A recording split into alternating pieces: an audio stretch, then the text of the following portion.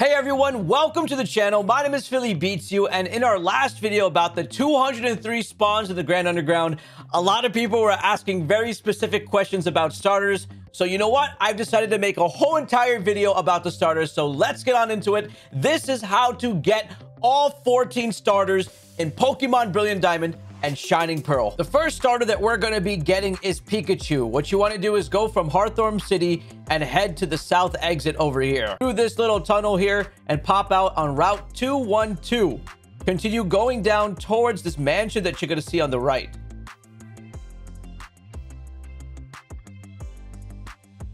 We'll be passing a couple, as you can see over here, an old couple. We're going to talk about them in another video. Very big, important details there. Going more north, we enter this giant mansion looking building. Keep going to the back. And then you'll run into a big patch of grass. This grass is very, very special because you have a chance of grabbing a Pikachu here at a 10% rate. Now, there's Pichus here that are more common. So if you just wanted to grab a Pichu and evolve it into Pikachu, that works pretty well. And there we go. There is Pikachu. Level 18, looking spicy. I'm just going to throw a Pokeball at it. I should have the Pikachu and got it. The next starter that you want to get is going to be located in Hearthome City, so head back over there, exactly the same area where we went to Journey for the Pikachu. This is where you're going to be getting Eevee. Please note that you must have completed the regional dex in order to get Eevee. So when you go inside, you'll be talking to someone named Bebe, She'll explain stuff about her boxes, and then she'll say, do you want a Pokemon called Eevee? And just like that, you grab your Eevee, you obtain it, and it's there. And then you can evolve Eevee into all its evolutions.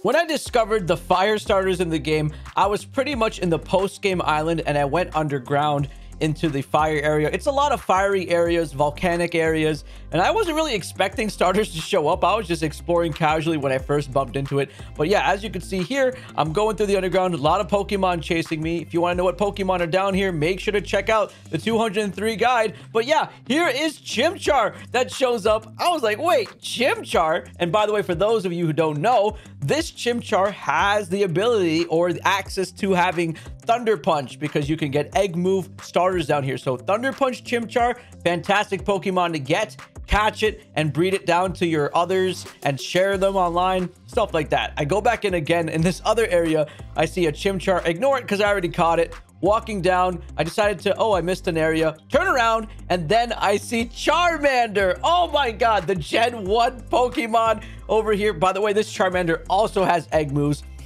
And I go ahead and capture this in an Ultra Ball. So just like that, I got Charmander. And as you can see, we're doing nothing but just staying within the fire biomes. And just like that in one area, I already got two starters. I go back into another room and then I see Cyndaquil. Here is Cyndaquil, the Gen 2 fire starter. You start to really notice the fire starters in the end game a lot because you have your national dex open. Fire starters are just in their natural fire habitats.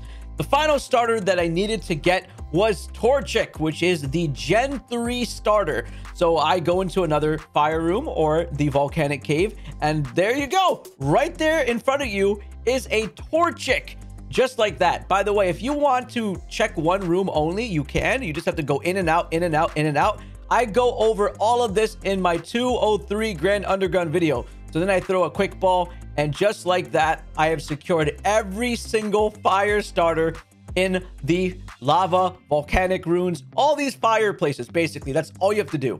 The next starters that I had to hunt down were the water starters. And as you can see here, I entered Fountain Spring Cave. And if you look at the top left of that map, you can see it's a water biome. It's literally just blue. This isn't hard to find. You'll see this all over your Grand Underground map. And in these post-game, of course, and after your national dex, mostly your national dex, which is post-game, you can see the starters. As you can see here, we spotted a Piplup as we walked in here. I threw the Ultra Ball. Got it. Wasn't too hard to show up. Uh, you're going to notice it's going to be very different for the starters that you encounter along the room. Sometimes you have to go in and out of the room 20 times. Sometimes you'll be that very lucky person and maybe get two starters in a room. This is a Mudkip we got here.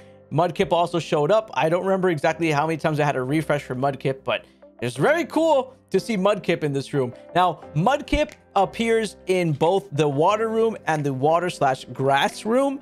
So keep that in mind as that's a really solid place to also hunt down the grass starters, but we'll get into that later. Now you can see a Squirtle has also appeared in the same exact dual room of water and grass. It's a pretty sweet spot because it's one room and you can get eight starters. It's, it's nice. So there's a Squirtle. We got the Squirtle as well. And now the last one I need to get is my favorite Pokemon known as Totodile. I, there's just something about Totodile that looks so funny. I don't know. I relate to Totodile. He's a very quirky starter Pokemon. And, it's literally a crocodile. Totodile. Crocodile, right? That makes sense. We encountered Totodile here. So I wonder if they could be shinies. Uh, the chance is probably just a, a normal a normal overworld encounter. Nothing too crazy here. I throw a Dusk Ball. I get my Totodile in the Dusk Ball. And bada bing, bada boom. Totodile is caught. And just like that, secured all four water starters. This was pretty awesome. Now, the next step after this is to get your grass starters. All you have to do is either be in a grass biome or the exact same cave as you saw the Totodile, the Mudkip, and the Squirtle. So here's Bulbasaur in the mixed cave.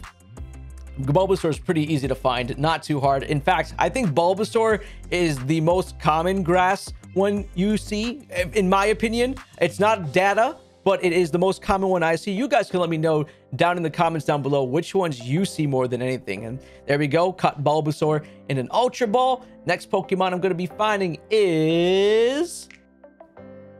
Okay, I respawned in the room. Where is it? There it is. Chikorita. We bump into a Chikorita over here. Now, I remember this encounter did not go so well at all. Uh, there's a reason why it didn't go so well. Is because this Chikorita accidentally was murdered by my Empoleon. So I did not catch this Chikorita for this video. absolutely killed it. I, I did not mean to. I, I didn't know I was going to do that much damage, but I forgot. It's a stab move on an Empoleon, so that's not good. The third starter, when I refreshed and came out the room, is the Treecko. This Pokemon is pretty cool. You know, I'm getting flashbacks of Omega Ruby and Alpha Sapphire every time I look at Treecko. I miss the fact that it could become a dragon type when you do the Mega Evolution, but it is what it is. I throw a Dusk Ball, catch it, should get in the ball, and then I get it. Yep, yep, come on. There it is. Got it in the ball. Treecko was caught. So I got all three grass starters, and then there was just one more, but uh, I didn't have the footage for it. I can't find footage of Turtwig anywhere, so I'm gonna go into this cave now, and hopefully we can get it. And I got two Turtwigs in the same video, and Chikorita. Oh, what a lucky spawn. Okay, there's Turtwig, and Chikorita and Gabites and oh my gosh, no way. Okay, let's go grab this Turtwig right over here. And that, that's it. Just keep going in and out of the room. And I finally got Turtwig to spawn. There it is, ladies and gentlemen.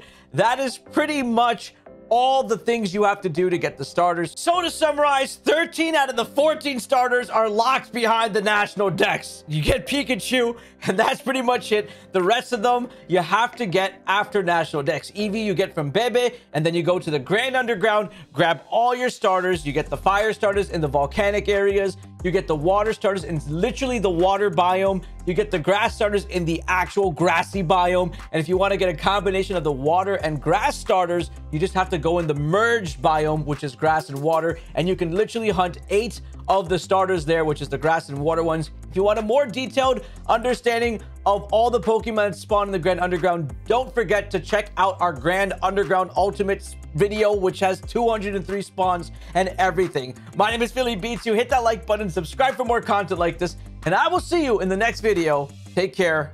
I'm out.